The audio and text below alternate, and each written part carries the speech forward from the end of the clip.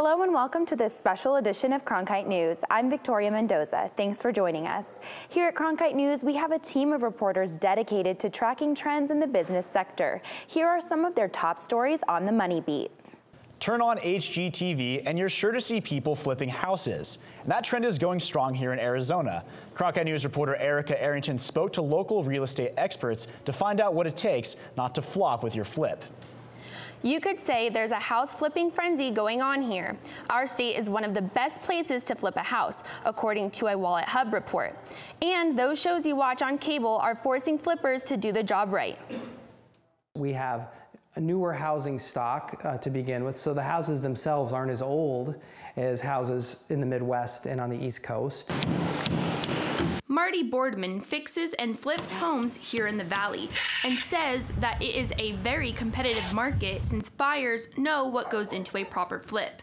With the proliferation of these house flipping reality TV shows, people are up on the latest design trends and styles, so they want to see that your house looks like the house they saw on HGTV the night before, and, and they want to know that the rehab was done right, and they can tell when the rehab was done right or when it was done wrong. According to Tina Tamboer, senior analyst for the Cromford Report, which tracks the Phoenix housing market, flippers are able to buy homes for around $170,000 and then resell them after renovations for around $210,000. That's the market the fix and flip investor is catering to. Somebody who wants a move-in ready home uh, within 100 to 300,000. They're very, very active, almost exclusively in that. Uh, when it's a seller's market, it's great for fix and flip investors because you know when your house is done, there's going to be a buyer ready to buy it.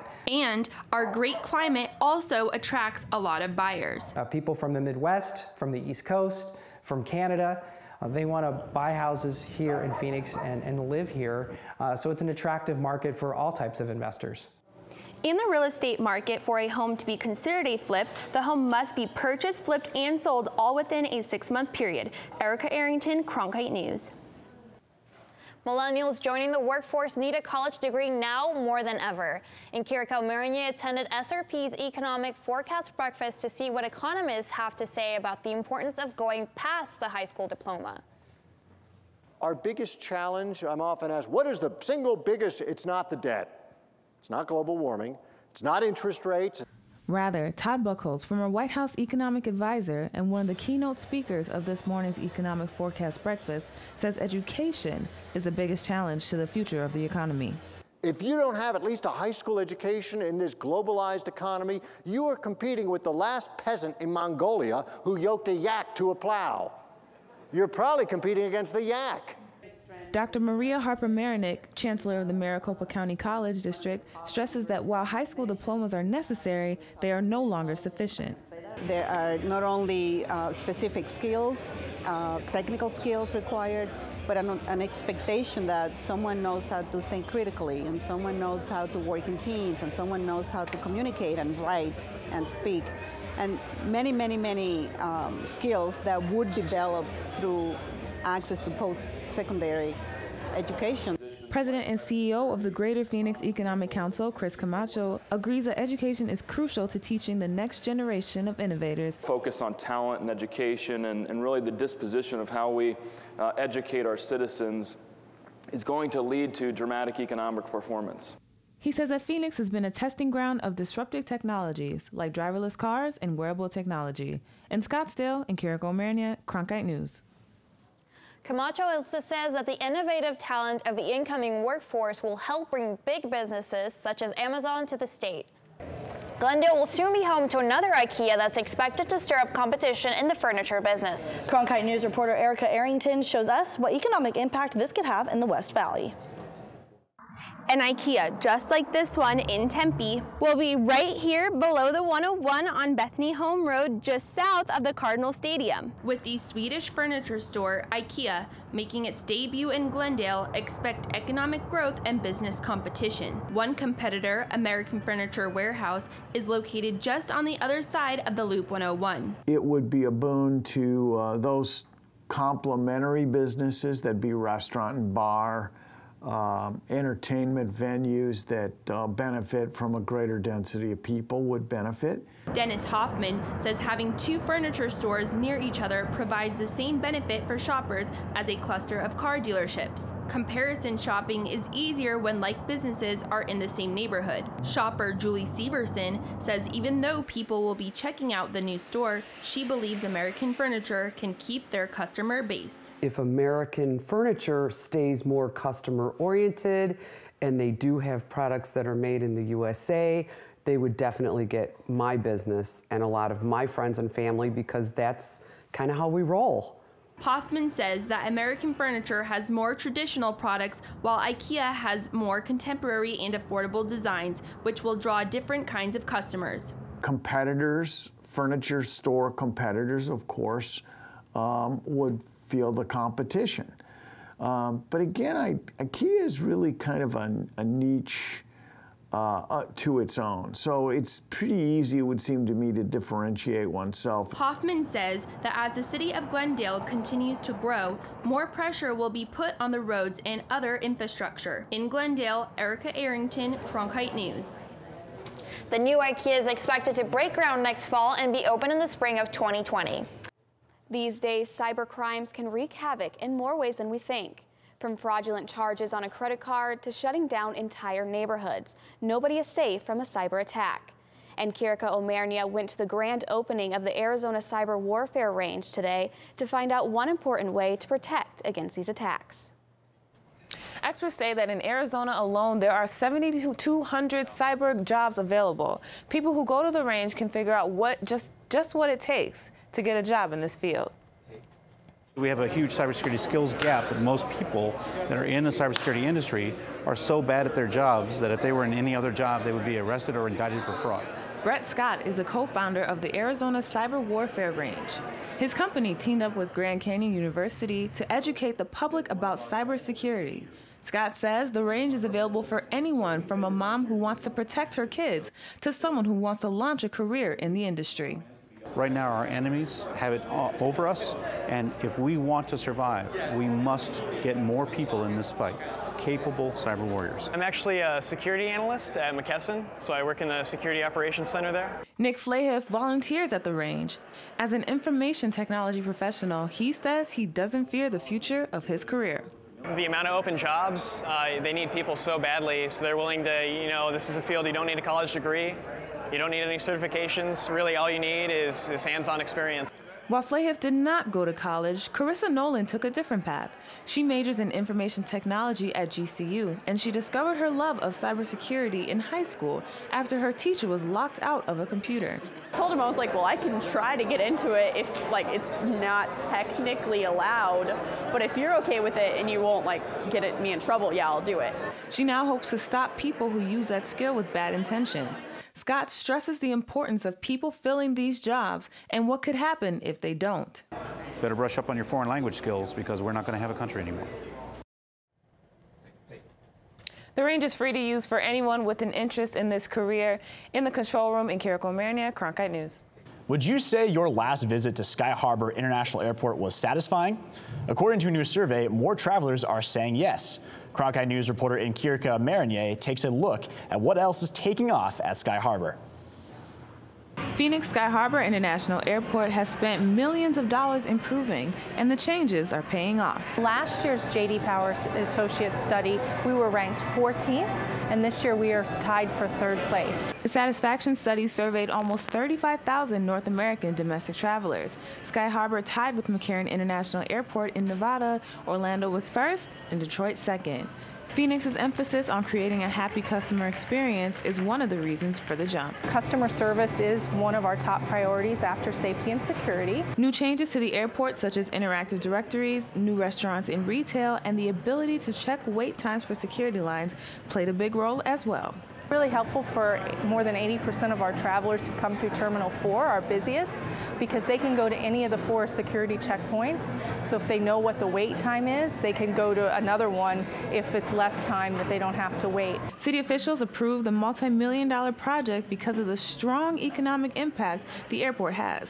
According to the W.P. Carey School of Business, it puts $12 billion in the economy annually and supports almost 60,000 jobs. But the renovations didn't cost taxpayers a cent. The airport's fund it through uh, passengers, and basically, if you use the airport, you're going to help pay for the airport.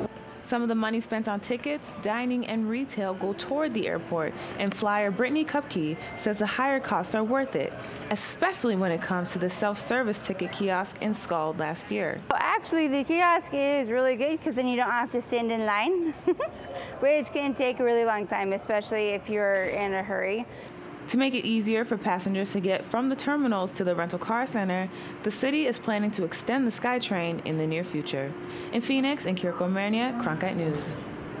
Would you work for a company whose values did not match yours? Nkiriko Marnier talked to workers in Phoenix about what impacts their choice when it comes to employment.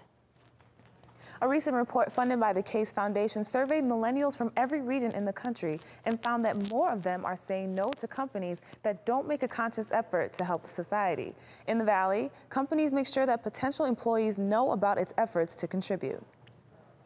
People are your product and the people are who make you. You know, if we don't have Sean Gadwani is a senior auditor at Copperpoint Mutual Insurance Company. So if they're not doing that and they're not doing a job showing that, then I don't, I don't want to be involved.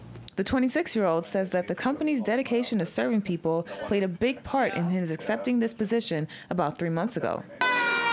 Corporate social responsibility is a company's approach to helping society and is performed in various ways. For example, Copperpoint prides itself on its annual Pack to School project. So each year we adopt an entire elementary school. The company buys the backpacks, the employees buy all of the supplies, stuff the backpacks, and then we deliver them to the school children. Editor of Green Living magazine in Scottsdale, Dory Morales says her company fulfills its social responsibility by taking care of the environment. In the company, all of our furniture that we have has been recycled, all of our electronics are recycled. We try to do as many things digitally as we can. Morales says the goal is to starve landfills by decreasing waste. She makes sure that everyone she hires has a similar aim. I'm hiring individuals. I make sure that they align with our mission and vision and that our core values are one. And I ask them what they expect in a company culture because we want to create a culture of people that all have the same values. Millennial Miranda Van Horn, communications assistant at Copperpoint, possesses the same values as the company she works for, which impacted her decision to work here. However, she says it's not only important to her work life, but her personal life as well. That's what makes a place a home is, is feeling a part of the community. If the worst were to happen, could your family afford to pay thousands of dollars for a funeral? Over the past 30 years, the price of funerals in the United States has risen about 228%, almost twice the rate of all consumer goods. Reporter Tim Johns shows us how the prices here in Arizona compare to the rest of the nation. Sam Bueller is a third generation funeral director who owns Wyman's Cremation and Burial in Mesa a small funeral home that stresses customer satisfaction. I'm involved in every aspect of the business um, here. So, for example, from the time that I get, we don't have an answering service, we answer our own phones, we do our own transportation. Because Bueller's business takes care of these things in house, that's allowed it to buck the trend of rising funeral prices. Wyman's hasn't raised its prices for the past eight years. But that's not to say there isn't pressure. Prices have risen both nationally and locally, although at different rates.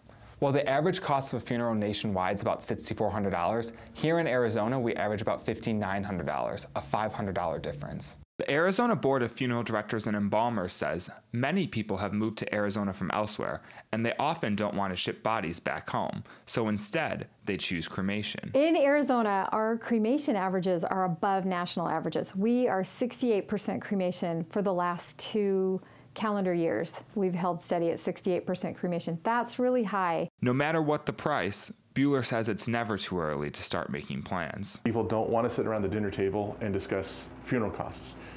My advice to those group of people would be do your research, check around, call around to the funeral homes, see how you're treated on the phone. We plan everything in life, Doing so for death could save your family some grief and some money. In Mesa, Tim Johns, Cronkite News. Currently, about 53% of Americans choose to have traditional burials, and 47% choose cremation. The art of meditation has been practiced in the East for thousands of years, but in recent decades, its popularity has also begun to spread to the West. And as reporter Tim Johns got to find out, with its popularity surging, One Valley Business has been at the forefront of spreading this ancient practice.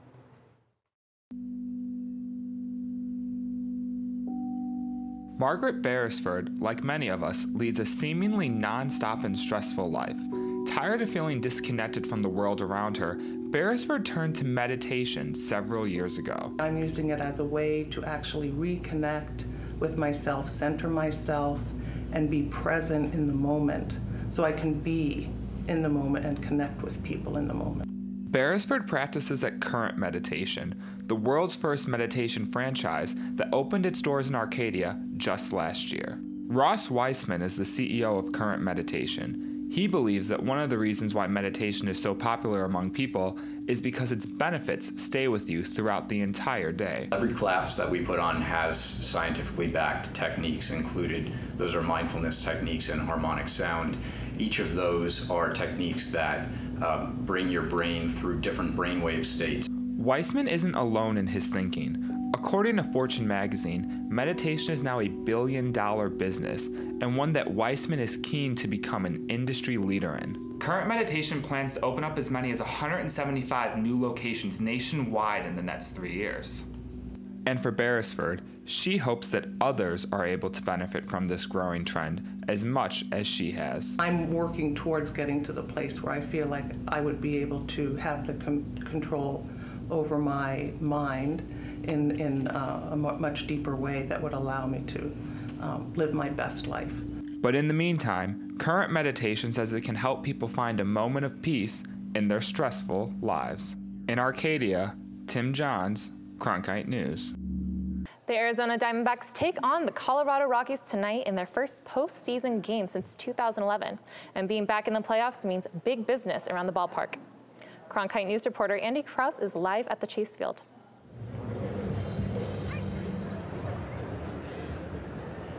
Diamondbacks players and fans aren't the only ones hoping for a long postseason run. Local business owners are feeling the playoff buzz as well.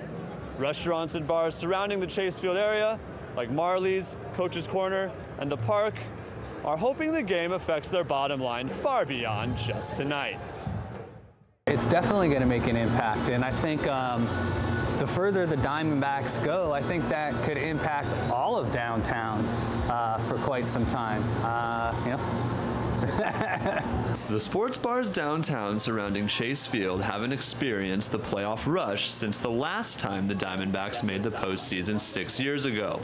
They say the D-backs' success is somewhat intertwined with their own. Now that they got some momentum and they're winning games, it just kind of brightens everything up for people. So uh, we just get busy, really. You know what I mean? We get busy, good dinner uh, rushes, um, post rushes after the game. So it just brings a good vibe downtown for us. That's why sports spots downtown are rooting hard for a win tonight and a long October playoff run. Big games like this, championships, um, anything coming downtown sports related is uh, obviously great for us. You know what I mean? So it's obviously better weeks, better months for us. The Diamondbacks haven't been deaf to the buzz leading up to the game. Manager Torey Lovullo said Tuesday he's excited to bring the benefits that come with winning back to Phoenix. I've been saying that we're Arizona proud. We we we love um, the fact that we represent the state of Arizona. Um, we are really excited about knowing that this is a sellout tomorrow. We want to go out and perform, make make this city proud of us. The news at Chase Field goes beyond tonight's game. The Maricopa County Stadium District Board of Directors approved a $3.75 million contract allowing steel and concrete repairs to the stadium. The improvements will begin once the team wraps up their season. Live from Chase Field, Andy Kraus, Cronkite News. You've probably seen people riding them down the sidewalk, in the park, or around town. Electric skateboards have become one of the trendiest ways to get around and One Valley Skate Company is set to leave its competitors in the dust.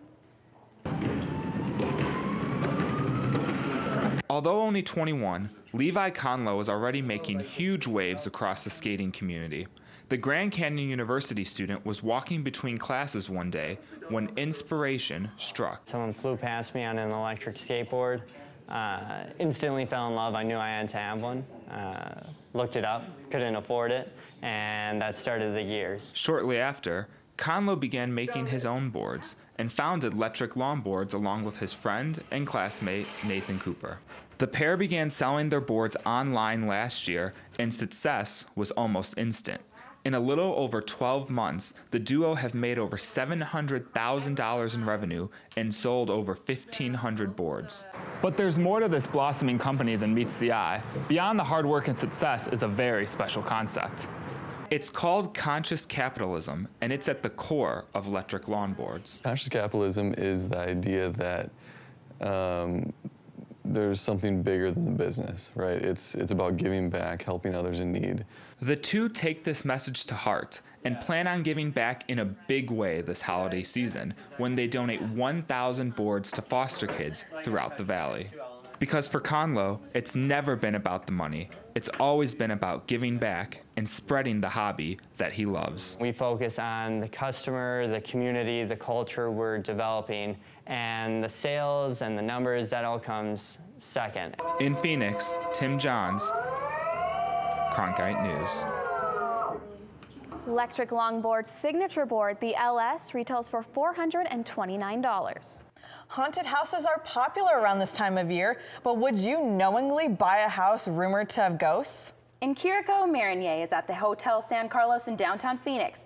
Long rumored to be haunted, she's been looking into what sellers have to disclose when it comes to those rumors. This hotel has offered ghost tours in the past that have attracted a lot of curious visitors. However, that is not always the case for the real estate industry, where selling a potentially haunted house would only attract the bravest of buyers. Yes, Casey Moore's is a haunted house. David Schleifer is the general manager of Casey Moore's Oyster House in Tempe. He's been working at the bar since 1989 and in that time has seen his share of paranormal activity. All of a sudden, my tie went to the left and it went back to the right. And I felt it and I stopped. In 1983, Patricia St. Vincent did not know the house was haunted until after she bought it. Arizona law says that sellers must disclose certain things about a home, such as its structural integrity and environmental issues it may have. Paranormal activity? Not on the list. When it comes to like a haunted house, that's what's called like a psychological effect of the property. Um, so there's no obligation to disclose it automatically in Arizona. Salvion says if asked, sellers have to tell the truth about if a house is believed to be haunted. A case in New York dealt with a seller who had previously advertised the house as haunted, but held that information when a potential buyer asked about it. So later, the buyer was able to get out of the deal because there was no investigation that the buyer could have done. You have to do your due diligence, do your research, maybe talk to the neighbors, and uh, you know find out if the house is rumored to be haunted. Real estate agent Shelly Sakala says the Hotel San Carlos is believed to be haunted, which is a reason some people stay there. But at Casey Moore's, they say ghost rumors are not really a selling point. It just comes with the charm and the mystique, and it's a story to talk about. A recent study on Realtor.com says that 33% of people would be willing to live in a haunted house, depending on the type of paranormal activity. In Phoenix, and Kiriko Marinier, Cronkite News. Job and internship interviews can sometimes be intimidating, especially when the interview takes place over dinner. The Be a Leader Foundation and Blue Cross Blue Shield teamed up to host an etiquette dinner for college students across the valley last night. Reporter Nicole Gutierrez shows us how students are learning more than the basic business manners. Tight grip. Handshakes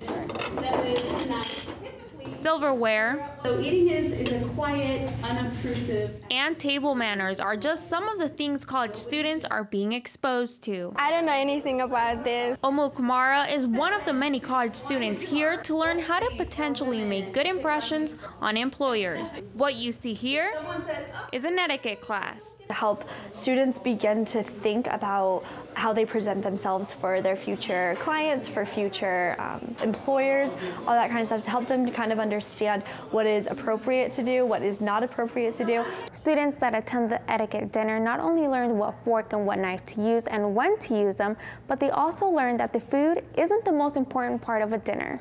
85% of what employers really look at is how people can socialize with people more than the skills themselves. I think now if I go to another business event, I will know how to handle myself, how to eat and how to behave and what to what to wear before even going there.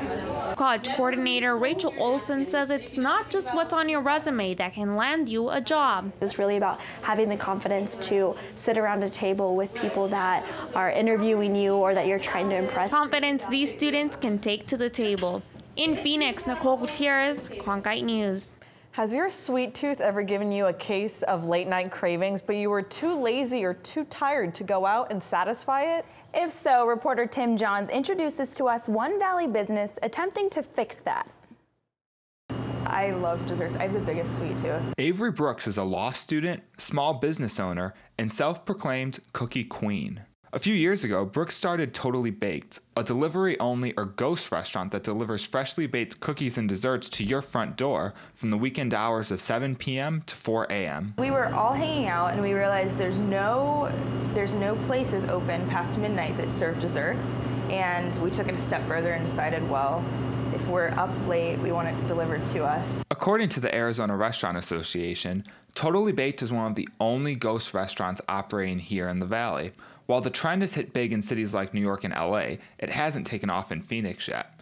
And for Brooks, the success didn't always come easy. You have to believe in what you're doing first and foremost. I just believed that it would happen and everything fell into place. Amy Newton is Totally Baked's co founder who believed in Brooks's vision, even in a city that's not known for being 24 7. I knew her really well, and I believed in her so much that I believed in kind of whatever idea she had. And for Brooks, that faith will keep her moving forward with expansion plans once she finishes school in the spring. Once I graduate, I think we will plan on moving into more of a retail, traditional um, space. Giving up the ghost for brick and mortar. In Phoenix, Tim Johns, Cronkite News. Thanks for joining us for this special edition of Cronkite News. For more multimedia coverage, go to cronkitenews.azpbs.org and click on the Money tab.